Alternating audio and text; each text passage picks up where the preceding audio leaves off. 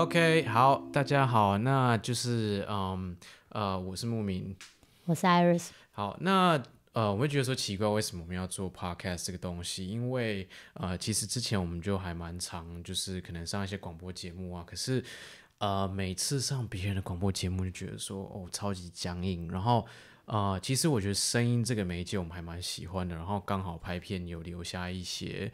这是这个声音的器材，想说刚好可以就是试试看用声音这个媒介来呃散播一些就是可能我们觉得呃值得散播的一些 idea 或是讨论一些东西这样子。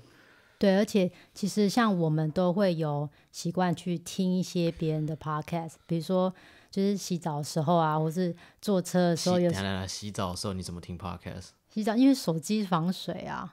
就直接把手机拿进去。对，因为这个我这件事情之前可能没办法做，所以你就直接挑到就是洗澡听 podcast 这件事情啊。因为像我是我是觉得说，例如说手边有事情，或者一般人都是通勤啊。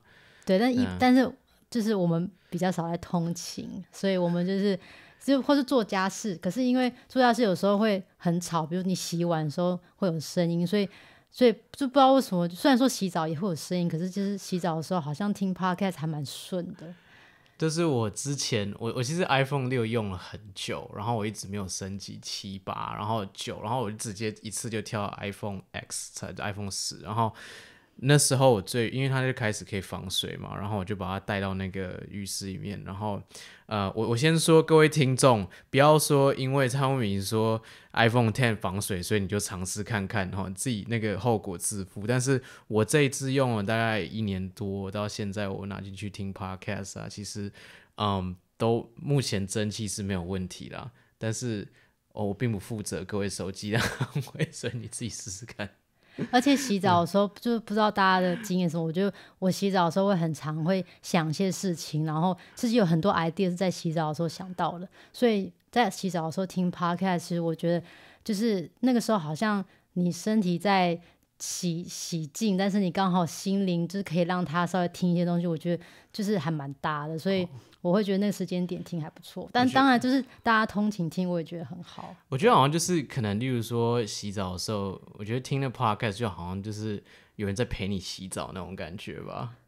啊，这样讲有点奇怪，但是 就是好像不会那么无聊。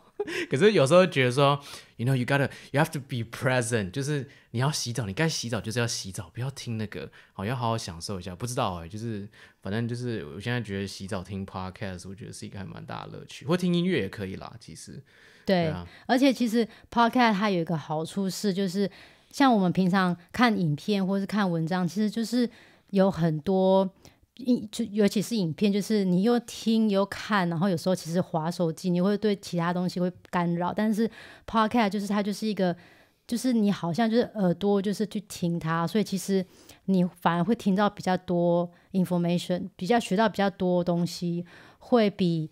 Video 或是看东西还要更更更专注，所以我觉得那那个媒介是一直我们都还蛮想要试试看的。对啊，我觉得好像最常听大概就是运动啊、通勤或是哦，对对对，之前在骑车的时候，对骑车或是健身房时候也会听。对，然后这边要安全，就是忠告，就是耳机最好是可以听到外面的声音，不要只有听音乐或 podcast 这样子。对，然后我们都是在安全的河边，我们在马路上比较不会就是做这些危险的事情这样子。对，那那像 podcast，你你都会听哪一类的 podcast？好像大部分都是一些可能会访问一些，就是像我蛮常听那个 Tim Ferriss 的 podcast 嘛，他其实就访问很多像呃成功的、知名的可能创业的人，然后是甚至演员，我就觉得那个还蛮有趣的这样子。要不然就是一些可能搞笑的一些，好像蛮多脱口秀主持人。台湾的台湾你好比较常听对不对？对我比较比较常听台湾的，嗯，就是大概就是这些吧，嗯。对，那那是不是英文不是很好的，就没办法像你这样都听？因为听中文的字幕，就是为什么要有中文的 podcast 是这样啊？对啊，听中文的。那为什么好像台湾比较少人在听 podcast 这种东西？是这个问题，我也我也不知道哎。但是我觉得好像最近比较多有人在做这件事情。我我自己开始听大概是二，我记得那时候我买第一台 iPad Nano，然后就是我不知道，如果各位没听过，就是代表你可能太年轻了。就是 iPod Nano 那时候是一条很细很长的，然后我那时候是买黑色的，然后那时候还用下载，就是它没有就是三 G、四 G、五 G 网络这样子，就是呃那时候通勤去上班上课，就是我会就是会听那个 podcast 这样子，差不多二零零六，所以这东西至少在国外已经就是流行好十几年好一阵子了，可是台湾始终就是没有。台湾广播很流行，但是 podcast 我不知道哎，会不会是因为像这种比较自媒体啊什么，倒是这几年才比较流行起来吧？我在想，或者可能是设备也是有点关系，也许之前的录音设备没有那么的普遍，所以大家就是很难去做这个媒体，因为写写东西是大家很方便，就是笔电打开就可以写了。嗯，我我我不知道哎，就是会不会也有可能？我觉得有可能。然后器材是一个，那会不会也有可能就是说，我不知道 podcast 没有中文吗？Podcast 这个词汇中文到底是什么？广播，或是有人说叫播客，播客是。对。其实，其实我觉得 Podcast 是一个很 fancy 的名字啊，因为 iPod，所以他们说 Podcast。那 Broadcast 是一般的。OK，这边还可以顺便教英文。那 Broadcast 就是英文，但是 Podcast 就是呃 iPod 听 Broadcast 嘛。那啊，我不知道会不会是因为你需要多一个做一个下载动作还是什么，所以一般人可能比较没有这个习惯。那呃，的确就是一也的确比较没有中文的内容，所以这几年台湾一直没有流行。但是几年这几年像，呃，是不是最近比较红？就像什么科技导读啊，或者说像那个 Mario 他的 Podcast 都还蛮多人在听的这样子。对对对对对，那那是为什么突然在这个你你听那么久，那突然在这个时间点你开始想要做这件事情？为什么突然开始哦？其实我觉得啊，这所以这是我们今天要聊的主题嘛？对，就是关于开始开始这件事情。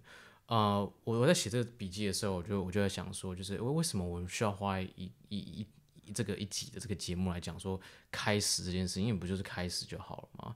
但是好像没有这么容易，就是说，好，我觉得我现在想要做一件事情，所以我就开始好了，就是会有很多的这种心理的障碍。那你问我说为什么现在要开始？我觉得好像没有一个很具体的答案呢，可能就是。啊，有时候有有有些事情它要开始，就是你可能已经走了很久的路，可能是因为器材刚好到位，可能是因为啊你自己有这个你自己有这个信心要出来做这件事情，它水到渠成，自然就会开始嘛。对啊。所以你觉得像像我们也常跟别人讲，就是就你你觉得有那种准备好，有有有准备好那个 moment 存在吗？我觉得需要有某些准备。但是我觉得说，呃，我我们自己比较常的做法就是，我们有一个就是 eighty percent rule 嘛，就是我们准备好到差不多八成就可以踏出去，呃，开始。原因是因为我觉得没有准备好的一天，然后你就是需要开始做那件事情，来知道说你需要什么，或是会面对什么问题，或是到底你开始做这件事情的感觉是什么？Maybe 你不适合做，Maybe 你做的比你想象中还要好。我觉得。都有可能，但是一切都是需要你踏出去做第一步才才知道。那你会害怕吗？像像我，比如说我我们之我们在讨论就是要尝试 podcast 这个的时候，我就是就是会有一些害怕的点，比如说我觉得这东西我我想要把它取个名字，我我一定要有一个。节目名称我才觉得好像比较安心，可是就是好像每次在尝试的时候都会害怕一些东西。你你有你会害怕？对，好，所以各位听众，这个幕后就可以跟跟各位讲，我们为了这个东西，我们真的不知道想了多久了。其实我们虽然在讲开始的事情，然后像艾尔叉的想法就是说，哦，我一定要有一个 title，我才有办法开始。那后来我就觉得说，就是不要有 title，因为。光这个 title 我们就不知道说讨论多久。为了这个名称，其实也想了一整个下午这样子。不止一个下午，我觉得想很久了，不止一个下午，对啊，一个下午不够不够那个艰艰难，对啊，反正就是讨论很久，然后很多东西都是我觉得卡在你希望它太完美吧。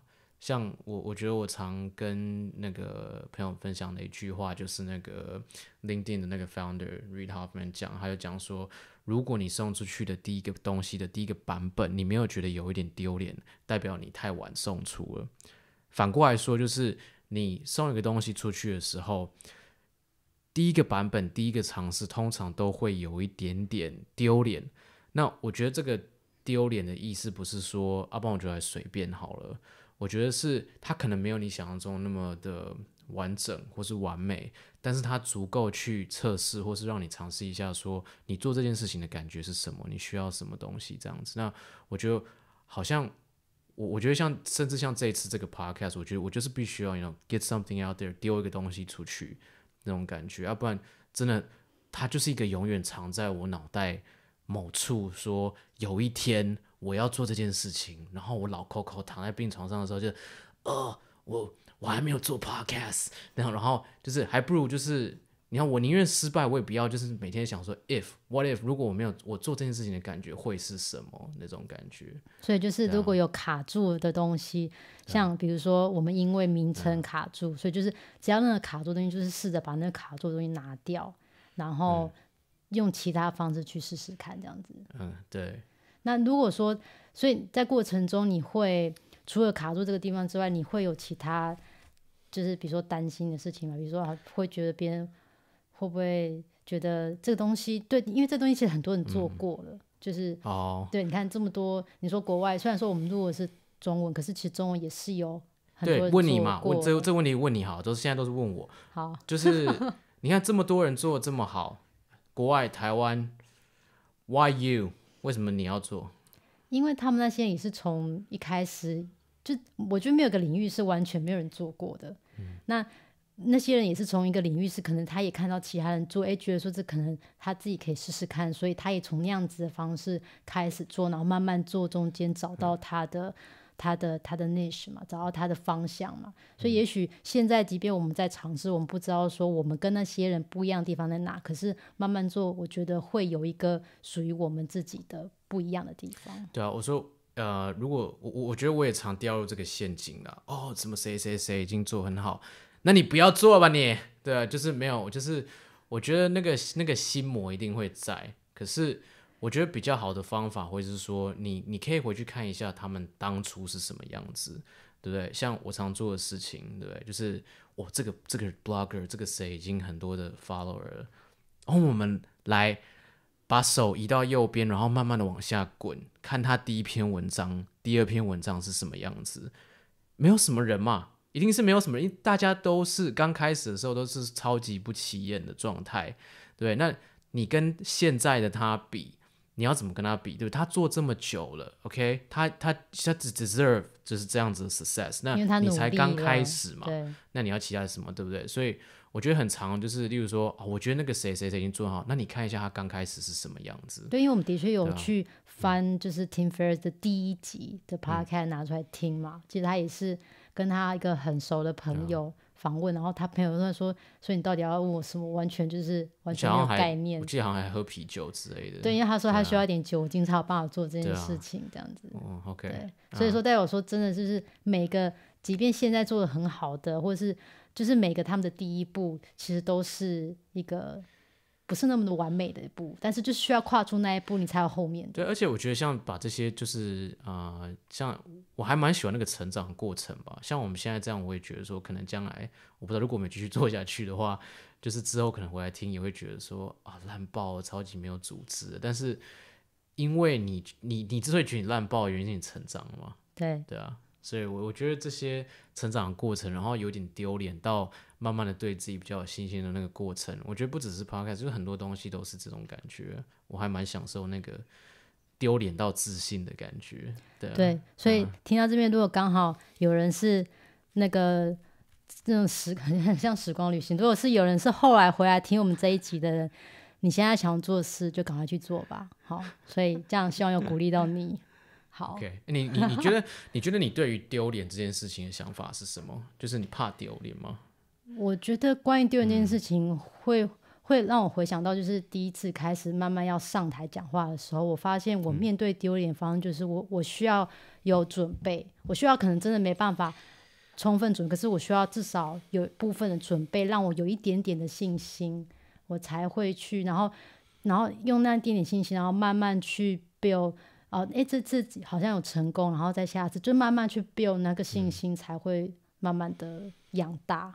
不然，其实如果完全没有准备上台，我觉得那真的是会很害怕丢脸的。对，呃，我我自己觉得，虽然说我们因为常常必须要上台干嘛什么，已经脸皮已经超级厚了，有一点厚了，没有到超级厚，就是嗯，需要有一点厚嘛。就是一你如果要做新的事情，就是真的一定会有一点点丢脸，然后会你会觉得说好尴尬啊这样子，那是那是必然的，因为你没有做过这件事情嘛，你没有做过这件事情，别人也不知道你会做这件事情，所以你我我像我我第一次贴什么，我第一次分享我弹吉他影片哈。我觉得超丢脸的，即便我大学弹，呃，就是大学时代都在弹吉他，我我后来多年后再分享 Facebook 上我弹吉他，我也觉得超丢脸的。可是你没有丢那个第一次脸，你之后要怎么样跟这个世界宣告说你你可以做这件事情，对不对？像我做这个 Podcast，我也觉得很丢脸啊，我也觉得说，万一有人觉得我声音很奇怪怎么办？对不对？我觉得我鼻音很重啊，对不对？但是我还是要做这个 podcast。有人觉得你的声音很 sexy 啊。那那谢谢他，你人真好。没有，对，就是就是那个，我觉得就是要让他丢脸，就是你要面对那个丢脸的第一次之后，你才会有第二次。而且做完一次的时候，你就觉得说，嗯，没有差那么多。对，我觉得那个勇气真的是需要去。把它养大，像我就印象蛮深刻。之前就是去参加一个活动，也是就是在网络上找到，然后他就是在在我们家附近的一家酒吧，然后那个酒吧他办了一个，就是其实是给外国人的一个活动，然后他就是就是那那种叫国外叫做就 open mic，就是他他就脱口秀嘛，对，他是脱口秀，然后他就是笑话那一种，上海讲笑话，然后。然后每个人就是五分钟，然后你可以现场报名，或是你本来就想参加，然后提早报名都可以。然后你就是会发现，就是上面上去讲，其实有些外国人讲话真的不好笑，或是真的很冷，但是你就会觉得说，为什么他们有这个勇气上去讲？然后你到后来，你真的会觉得说，你你都会想要去试试看，说 What if 我上去讲会怎么样？就是那种是把自己真的就是完全真的有点像是不害怕丢脸，然后。放上台上去，那种我觉得那个勇气是真的是蛮可贵的。其实我觉得讲到丢脸这件事情啊，就是嗯，就是我我我觉得有一个东西是非常珍贵，就是这一种初心，就是一开始的心，初始的这个心，就是很多时候像我们这种啊，可能就是你你完全对这个东西一点都不专业啊，像啊像像可好，我们是专业拍片的好了，可是像我们看到学生他们拍的影片。说真的，专业吗？一点都不专业。可是因为他们这种很愿意尝试，然后没有受那种专业的包袱去做出来的东西，反而我觉得会让我们这种所谓的专家或者专业的人会觉得是那是很令人感动的。所以我想讲的是说，你觉得你做这件事情很丢脸，或是你完全不懂这东西，诶，别人甚至很专业的人可能会看到，会觉得说。他被你的这种初心，或是这种尝试的心去感动到，哦，或是说别人他不敢去尝试他自己，或是去表现他自己，看到你在表现的时候，他也会跟着会被感动到，跟诶愿意好像多尝试一些东西。我觉得像这种东西都是，嗯，你会觉得很丢脸，可是别人也许觉得是很激励他的东西，啊，嗯。那还有什么你觉得想要聊关于开始的吗？啊。你觉得要怎么样不要给自己太大压力呢？哦，不要给自己太大压力，成功或者对，万一这种得失心不要太重。